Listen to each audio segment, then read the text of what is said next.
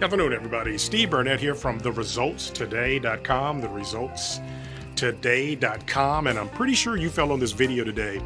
You've been doing like I've been doing for the past two to three years is I'm pretty sure you've been keeping a closer eye on what's been happening in the news, specifically with what's been happening in the government lately, some of the shutdowns and some of the brutal changes that we've seen happen in the past two years.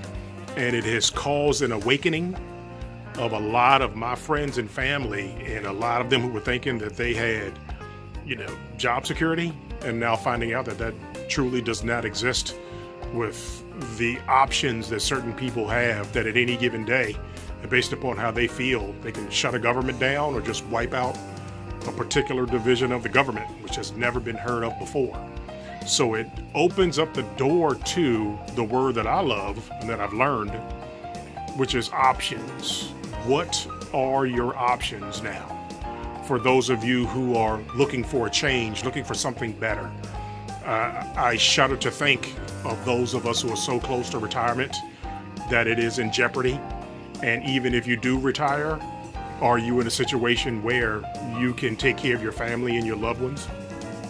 So, what I would like to do is introduce you to a person who professionally gives people options, makes decisions for you based upon where you were, where you've been, and where you want to go.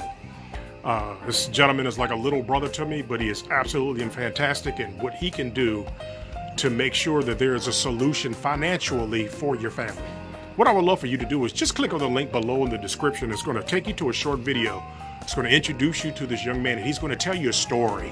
What I would love for you to do is just get a pen and sheet of paper and listen to the story. It's about four minutes long and after listening to that story, you'll see why I believe this gentleman may be the best option for you out there.